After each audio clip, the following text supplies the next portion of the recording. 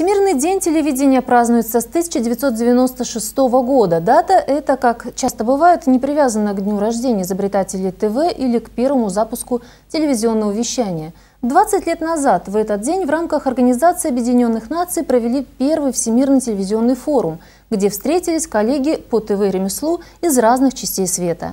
Как проходит этот праздник на Видное ТВ, расскажет Максим Козлов. Макс, тебе слово. Спасибо. Праздник праздником, но зритель ждать не будет. Для сотрудников телекомпании «Видное ТВ», как и для многих наших коллег, это обычный рабочий день. Журналист с оператором уезжают на съемку. Режиссер монтажа собирает сюжет. В студии пишут новости и телевизионные программы. Машина под названием «Телевидение» работает как часы.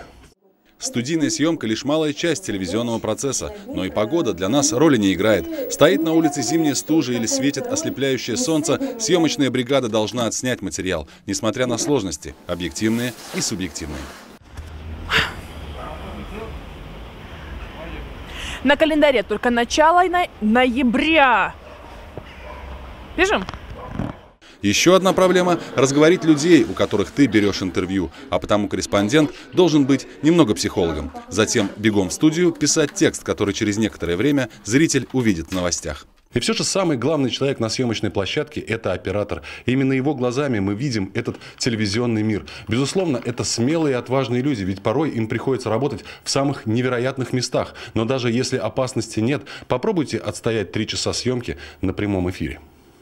Отдельно стоит сказать доброе слово о режиссерах монтажа. Эти люди из видео, которые снимают операторы, тексты, которые пишут авторы, дизайна и музыки, собирают сюжеты для новостей, программы и фильмы. Движение нужно, Лена. Так, это вот для этого. Вот видишь у мальчика?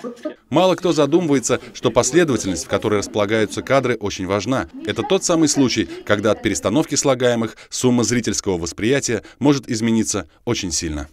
В наше время, чтобы делать телевидение, необходимо что-то, на что можно снимать, например, мобильный телефон, и место, где это видео размещать, например, сеть интернет. Используя несложные программы, можно вести прямые трансляции, передавать видео на другой конец света, делиться им с пользователем. И все же телевидение – это немножко больше, чем просто снять и показать.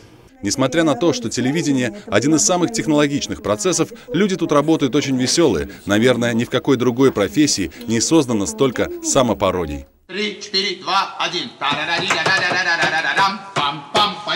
Добрый вечер, уважаемые жители Пятигорска и остальной, короче, России там.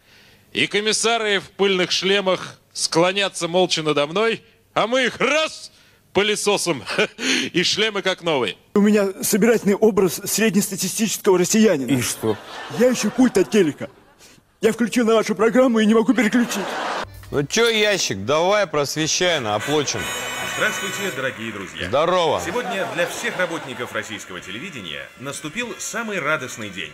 Возможно, смех – это своего рода защитная реакция. Очень часто нам приходится сталкиваться с не самыми лучшими сторонами нашей жизни, и размер телекомпании значения не имеет. Видное ТВ, конечно, не BBC, но и мы, сотрудники маленькой телекомпании, стараемся хорошо делать свое дело. А самое лучшее поздравление для нас во Всемирный день телевидения – это ваше внимание и ваши отзывы о нашей работе. У меня все. Спасибо, Максим.